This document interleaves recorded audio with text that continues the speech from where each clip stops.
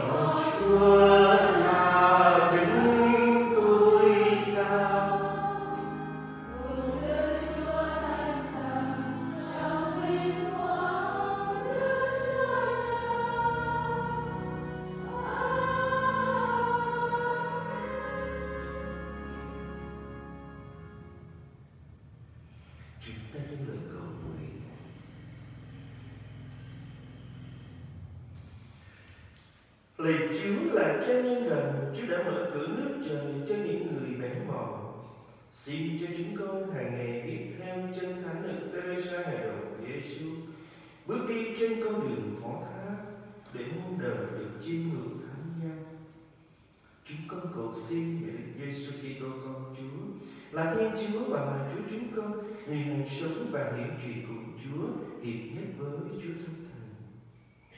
Đến muôn hương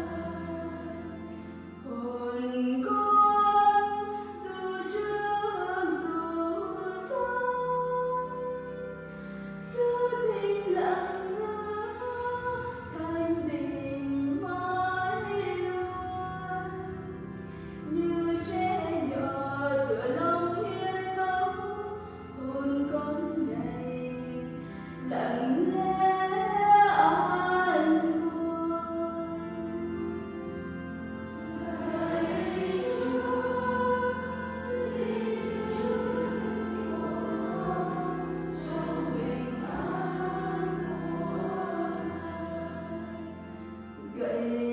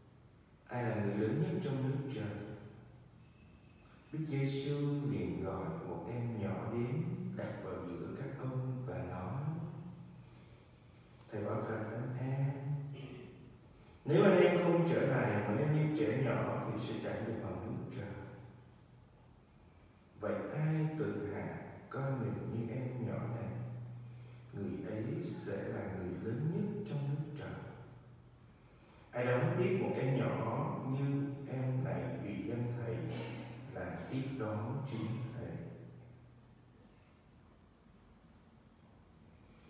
Đó là lời chưa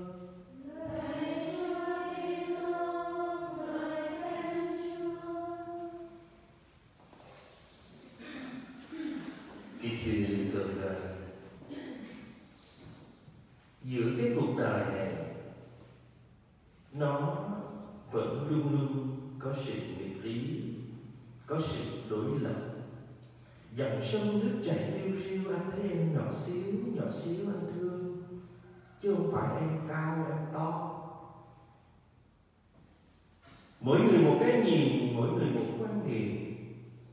Nhưng mà ở đời Mấy ai mà thích sự nhỏ bé?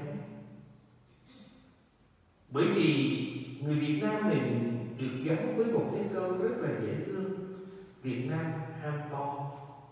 Mà đúng thiệt Người ta vẫn thích cái gì nó to Chứ nó không thích nhỏ. Nhưng mà hình như bé cái lòng trong cái sự nhỏ bé, Nó lại có một cái mạnh lực Nó lại có một công lực rất lớn. Như bom nguyên tử Bé thôi, Nhưng mà có thể hủy diệt được cả thế giới Trong một cái đầu óc cũng nhỏ thôi, Vài trăm gram não thôi. Và ngày hôm nay cũng vậy Ra đường, Khoe, tìm nhiều Vàng nhiều, Đô la nhiều, Nhưng mà hơn nhau ở cái thẻ ngân hàng. Nó bé bé thôi, Nhưng mà công lực nó ghê. Nó lớn lắm. Và rất thực tế trong cuộc đời, rất thực tế trong xã hội, và thực tế ngay như trong giáo hội. Con vẫn thích hình ảnh của một con người nhỏ bé trà trộn giữa xã hội và giữa giáo hội để cảm nhận được cái thế giới này nó rất đẹp và nó rất vui. Tối hôm qua đi ngủ sớm, sáng dậy thấy thằng bé nó gửi cho mấy tấm hình đón tất cả những vật vị vọng với những vòng hoa, với những cái con lăng cu sơ đời mới. Tự nhiên sáng nay lại mở lại nữa, lại thấy. Dĩ nhiên cái đó là cung cách để đón tiếp những bậc vị vọng theo nghi thức. Nhưng mà hình như hình như nó hoành tráng quá. Mà liệu chừng tấm lòng bên trong sự đón tiếp đó như thế nào? Hình như là Chúa Giêsu đâu bao giờ mà nghĩ rằng là ngày hôm nay đệ tử của mình đi đâu đó để được những cái lòng hoa lớn và được những cái sơ đời mới đó. Chúa Giêsu mà bây giờ mà xuống trần gian chắc ngài cười. Ngài nói, tụi bay quên bài rồi. Bài tin mừng Matthew 18 1 đến 5 rất ngắn gọn. Khi các môn đệ hỏi Chúa Giêsu ai là người lớn nhất trong nước trời? Chúa Giêsu không bảo Phêrô. Chúa Giêsu không nói những cái ông môn đệ đến. Mấy ông đây mới là thành viên của nước trời. Nhưng mà Chúa Giêsu lại bế một đứa bé vào. Và những ai trở nên như trẻ nhỏ, thì là nước trời là của những trẻ nhỏ đó. Nói như vậy, bao nhiêu năm rồi? Bao nhiêu năm rồi còn mãi ra đi. Đi đâu lăn quanh cho đời mọi mẹ trên hai vai ta đôi vần đẹp nguyệt rồi suốt trăm năm một cõi đi về. Và vào cách đây cách đây bao nhiêu năm ta? 1873 Xin trước con 1000 năm có một vị thánh. Sinh ngày 2 tháng Giêng năm 1873 trong một gia đình có 9 anh chị em qua đời hết bốn còn lại được năm. Một cô mẹ từ lúc 4 tuổi. Một con người mang tên Teresa cũng đi vào gần tu như mọi người. Cũng tu như mọi người. Đặc biệt, không được đi học, không được học thần học, không được học triết học. Mà xin lỗi, chắc cũng không được học, gọi là, linh đạo của đời tu. Thế nhưng mà cuộc đời của một cô bé đó 24 tuổi đời 9 năm trong nhà dòng, lại trở thành một vị tiến sĩ của hội Thiên Chúa vẽ đường thẳng bằng con ta Thiên Chúa làm những chuyện mà con người không hiểu. Cứ tưởng ta đây làm bề trên, ta đây làm giám định, ta đây làm tổng phụ trách ba bốn nhiệm kỳ Ta đây làm giám mục, ta sẽ làm thánh. Nhưng không Với Thiên Chúa không phải là chuyện đó Mà với Thiên Chúa là con người nhỏ bé. Như chúng ta thấy dưới những cái văn thư của Đức Giáo Hoàng Ký như thế. nào tôi tớ của các tôi tớ. Chỉ là một người đệ tớ của anh em để được sai đến và phục vụ anh em trong cương vị làm giáo hoàng. Nhưng mà chuyện quan trọng, ai cảm nhận được điều đó và sống được điều đó như Teresa hài đồng Giêsu lòng con chẳng dám tự cao. Mắt con chẳng dám tự hào Chúa ơi, đường các vọng chẳng đời nào bước việc diệu kỳ vượt sức chẳng cầu hồn con con vẫn trước sau. Giữ cho thân lành giữ sau thân mình. Như trẻ thơ nét mình lòng mẹ, cho con hồn lặng lẽ an vui. Nhưng mà mấy ai mấy ai sống cái lời thánh tịch mà mình vẫn thường đọc, vẫn thường hát, mà mình biết thuộc quá nhiều luôn. Đọc bây giờ là coi như tuyệt vời. Hỏi cái kinh thánh câu mấy là nhớ hết, đọc được rõ rõ hơn cái mấy luôn. Nhưng mà nhưng mà chuyện quan trọng mình có sống điều đó hay không? Ở trong cương vị càng lớn thì chúng ta được mời gọi sống càng nhỏ bé. Nhưng mà chuyện quan trọng là mình có sống hay không? Ngày hôm nay giữa cuộc đời này nó buồn cười. Toàn là thực tọa thích thể hiện. Pháp sư thích thể hiện. Toàn là thích thể hiện không? Ai cũng thích thể hiện mình hết mình thế kia mình nhiều tiền, mình quần là áo lựa mình xe đẹp, mình chức to toàn là thích thể hiện không mình thích khẳng định mình. Nhưng mà rồi, nhưng mà rồi có ai thoát được cái chết đâu sắc sĩ đắc tổng thống pháp rất tuyệt vời, cũng quá đi. Mới đây, cách đây mấy năm, mấy tháng, mấy ngày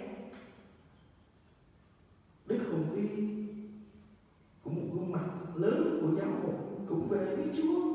Tám, bảy tuổi, năm nay con 40 tuổi. 47 tuổi mà cùng lắm, con sống 40 năm nữa thì con cũng chết thôi. Con có mang cho được cái gì đâu. Ấy vậy mà, nhiều lần nhiều lúc chúng ta quên. Chúng ta không nhớ chúng ta là ai trước mặt chúa. Chúng ta chỉ là một bình sạch lọ đất trong lòng bàn tay của chúa.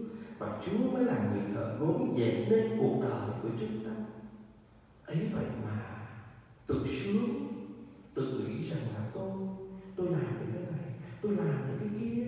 Tôi, có tôi mới thành công, có tôi mới có cái này, mới có cái kia. Mình cứ thử, mình nhắm mắt, mình chết đi.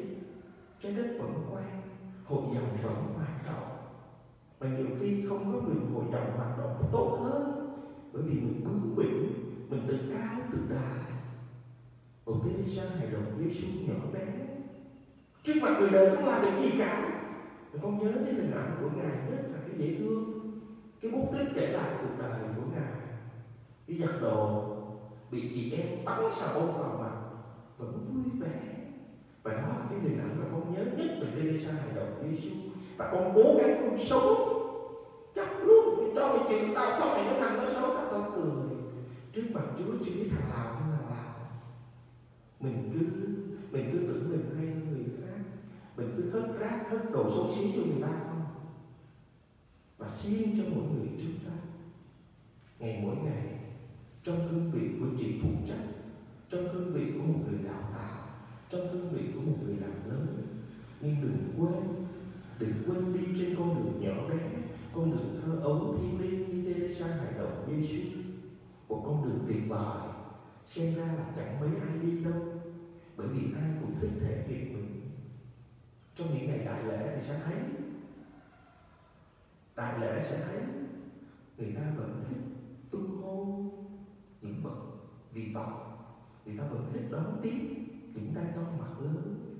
Còn hiện như những người nghèo, những con người khuyết tật, những con người nhỏ bé chỉ là một cái nền để cho người ta tiến thân. Thật lòng với nhau sống đi đôi khi xã hội nó diễn quá, nhiều khi giáo hội cũng bắt chước diễn theo. Hãy thương và hãy yêu những con người nhỏ bé, thật lòng, thật tâm của mỗi người chúng ta. Đừng diễn nữa. Xã hội nó diễn quá nhiều và để được như thế. Chúng ta phải nhìn lên khuôn mặt của Teresa hài đồng Giêsu và chúng ta kết hợp mật thiết với Chúa Giêsu và yêu mến Chúa Giêsu thật chỉ có khi nào chúng ta yêu mến Chúa Giêsu đủ như Teresa hài đồng Giêsu lúc đấy chúng ta sẽ yêu mến tất cả những điều khó khăn đến trong cuộc đời chúng ta, kể cả hiểu lầm, kể cả bị chà đạp như Teresa hài đồng Giêsu xin Chúa thêm ơn cho chúng ta qua lời chuyển cầu của Teresa một con người rất nhỏ bé, nhưng mà là tiến sĩ của hội thánh, một con người chẳng làm gì nên công trạng, nhưng mà một con người để cho chúng ta một bài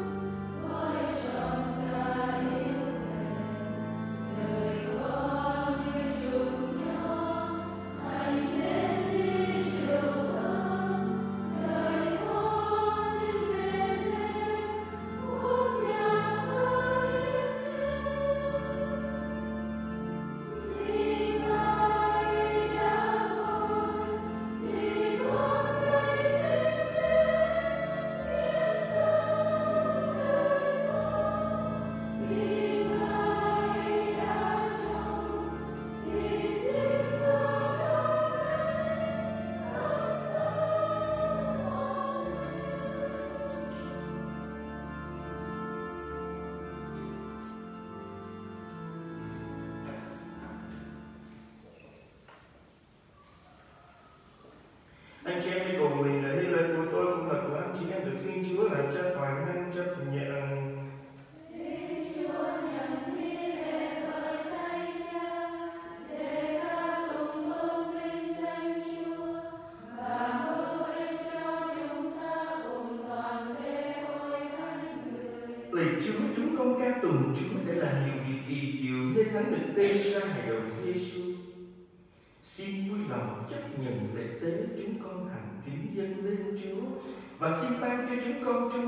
phụng sự Chúa suốt cả cuộc đời. Chúng con cầu xin nhờ Đức Kitô Chúa chúng con.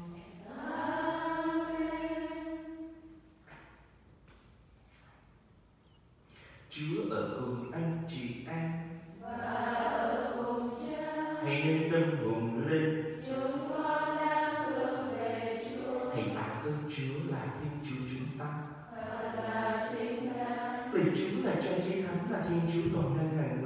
Chúng con tạ ơn Chúa mọi nơi mọi lúc. Thật là chính đáng bài đầu và đem lại ơn cứu độ cho chúng con. Chúng con phải chúc tụng sự quan phòng kỳ diệu của Chúa đến các thánh là những đấng đã từng hiến đời cho Chúa Kitô vì nước Trời. Nhờ sự quan phòng đó, Chúa kêu gọi loài người trở về tình trạng thánh thiện nguyên thủy và cho họ cảm nghiệm được những ân huệ mà họ sẽ nhận ở đời sau.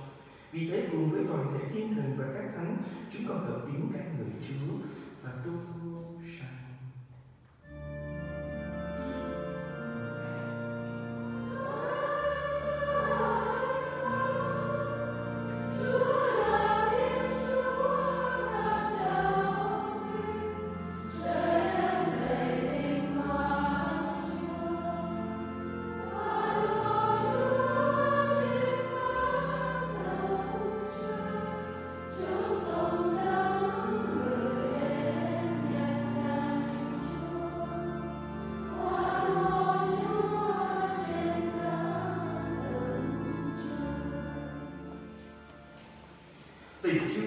Là đấng thánh là nguồn mọi sự thánh hiền. Vì thế, chúng con này xin Chúa dùng ơn thánh thần Chúa thánh hóa những của lễ này. Để trở nên cho chúng con mình và máu Đức Giêsu Kitô cho chúng con. Khi tự nguyện nộp mình chịu khổ hình Ngài cầm lấy bánh tà ơn vẽ ra và chân cho các môn đệ mà nói tất cả các con hãy nhận lấy mà vì này là mình thầy sẽ hiện ngược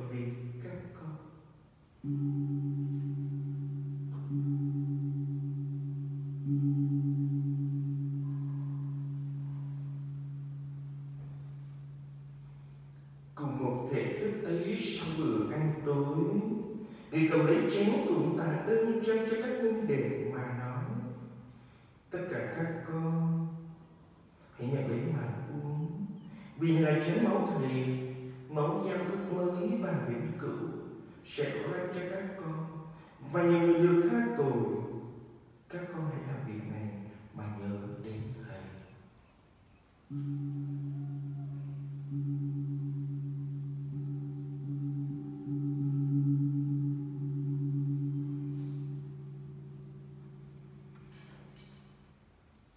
Đây là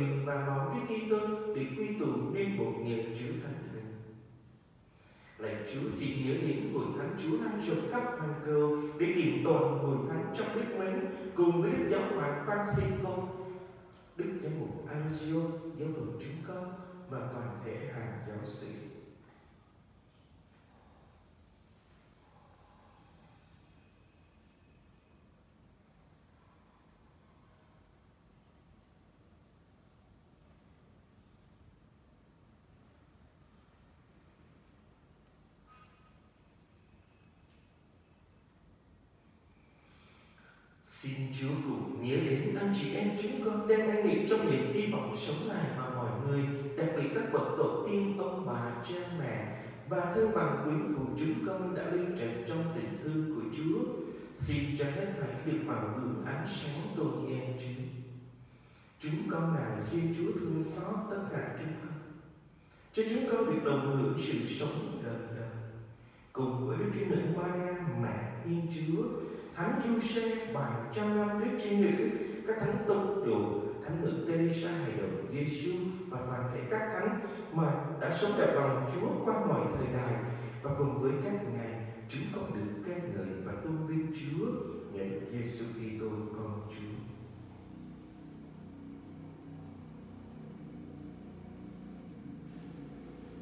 Chính nhờ người với người và trong người mà họ danh dự và vinh quang đều quy về Chúa là Cha toàn năng trong sự hợp nhất của Chúa Thánh Thần đến muôn đời.